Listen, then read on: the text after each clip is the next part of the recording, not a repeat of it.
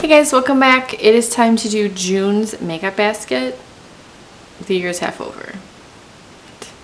I personally love this time of year because it's hot and it's sunny and everyone gets a little bit of color and they're a little bit tan and I just look better with the tan and I love this time of year. However, my makeup this time of year is usually like no because I am outside a lot and I just really am not going to put on a ton of makeup to go outside. So the products I have here are very either sheer or neutral or cream because I don't, I just, I'm not going to be bothered with a lot of makeup in the summer. So if you guys want to see the products that I picked out for the month of June for my makeup basket, then please keep watching. First of all, let's peep this sweet pineapple holographic box that I have here. What? I repurposed my Sephora Favorites flower box because it's beautiful. And then I was like, well, I want to put pineapple and hollow on top of it. So I did. Anyway. Uh, so for eye things, I, I've been, I'm still trying to work on my Lorac Resort palette because I'm painting that palette this year. But I wanted to throw in my uh, Buxom customizable palette.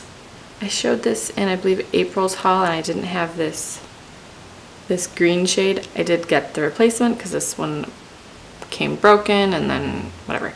So this is the shade that I ordered. I just love this, like, it's like a really warm green with these neutral bronzy gold shades. Like, I just thought it was really cool.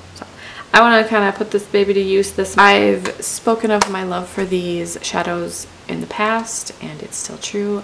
I really, really love these. They're soft, but they're not terribly powdery and they just, they're just nice. I just love them. I love that you can select the shadows that you want in here. I love these. Uh, the majority of these are cheek products.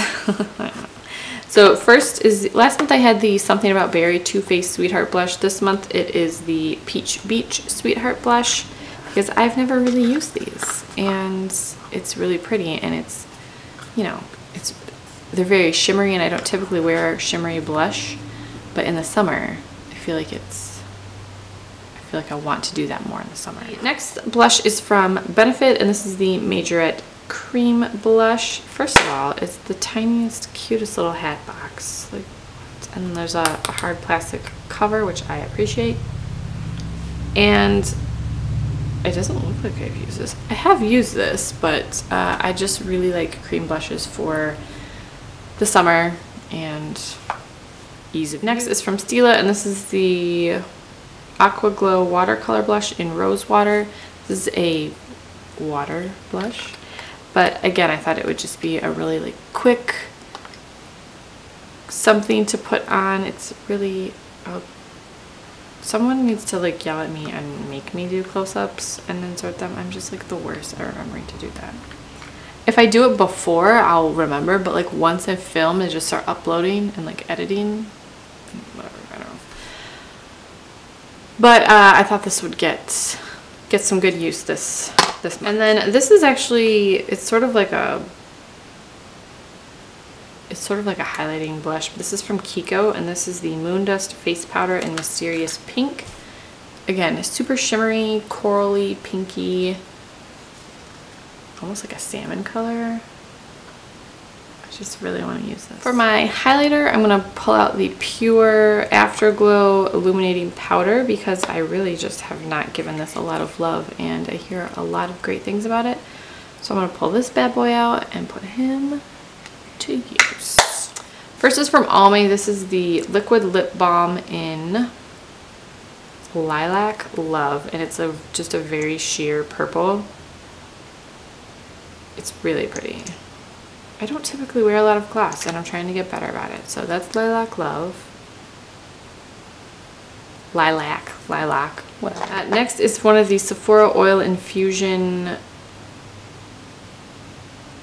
things. This is in, this is Bubbly Grenadine. Again, super sheer, but moisturizing and hydrating.